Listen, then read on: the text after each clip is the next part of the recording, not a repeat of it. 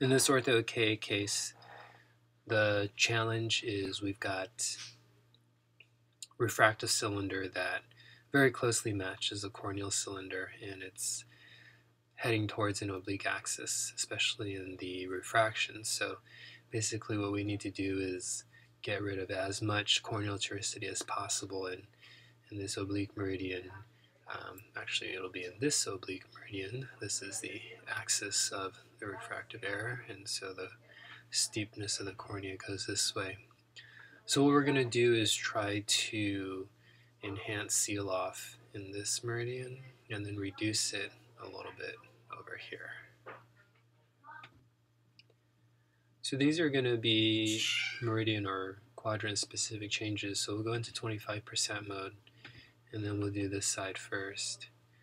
Uh, what we're going to do to decrease seal off is decrease the sag here. So we're going to lift the lens away from the cornea about 10 microns. Uh, let's see where we're starting from, 726 and 1890. So what we want to end up with is 716, but still retaining the 1890 here. So if we click up a couple times,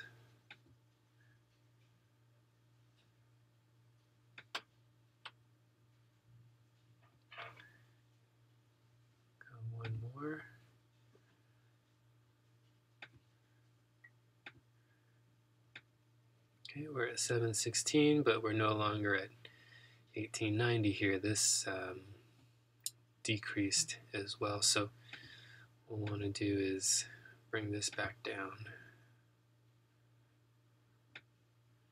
Almost there.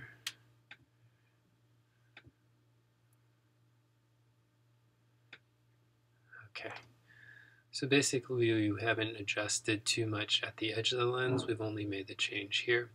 We're in GSIM, so the change is going to be here as well as on the opposite side. So 90 degrees away, what we want to do is increase how much we're sealing here.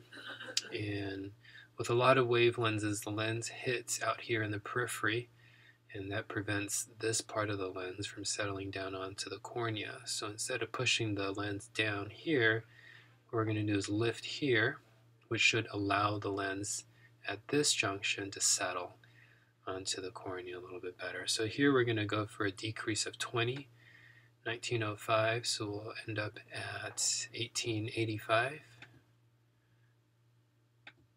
We're still in 25% mode.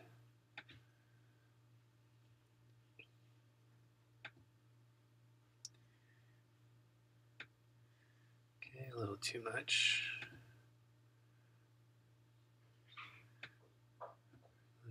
tune that a little bit. In 1885. So we're not going to make any changes to the blue here. With these quadrant specific changes, I think it's a good idea to prism ballast the lens. It's not a guarantee that the lens is going to sit in a certain way, but I think it does help. And there we have our uh, adjusted lens.